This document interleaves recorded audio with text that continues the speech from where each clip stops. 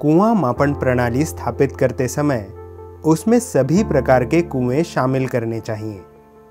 जैसे कि सिंचाई में इस्तेमाल किए जाने वाले कुएँ, पीने के पानी के कुएँ, सामूहिक कुएँ और ऐसे कुएँ जो अभी इस्तेमाल में नहीं है। निगरानी किए जाने वाले कुओं को इस तरह चुना जाना चाहिए कि वे अध्ययन क्षेत्र के सभी हिस्सों का प्रतिनिधित्व करते हों।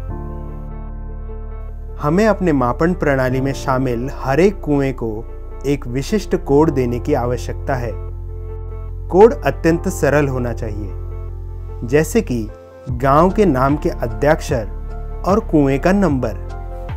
अच्छी गुणवत्ता वाले रंग का उपयोग करें और अचल वस्तुओं पर, जैसे कि कुएँ की दीवार पर, पंप हाउस या पास के किसी पेड़ पर कोड पेंट कर दें, ताकि कुएँ के पास जाते ही इसे आसानी से देखा जा सके।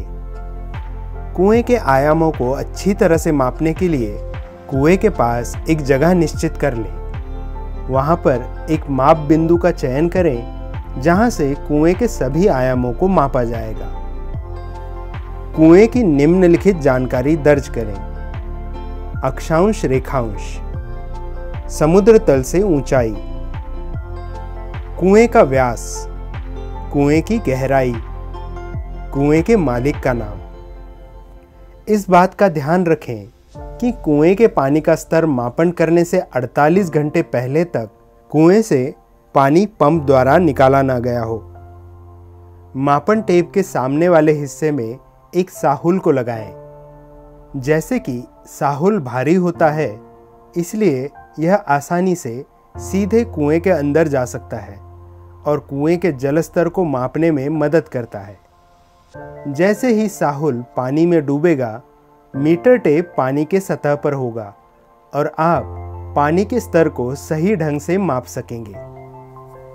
मापन बिंदु के यहाँ से आप अपनी टेप को धीरे धीरे अंदर छोड़िए। जैसे ही टेप जलस्तर को छुएगा, वहाँ रुकिए। मापन बिंदु से जलस्तर की दूरी नापिए। इसी को कुएँ का जलस्तर कहा जाता है। आपके द्वारा एकत्रित की गई जानकारी हर महीने एक रजिस्टर में दर्ज की जानी चाहिए। इस रजिस्टर में दिनांक, कुएँ का विशिष्ट कोड, कुएँ का जलस्तर दर्ज करना ज़रूरी है।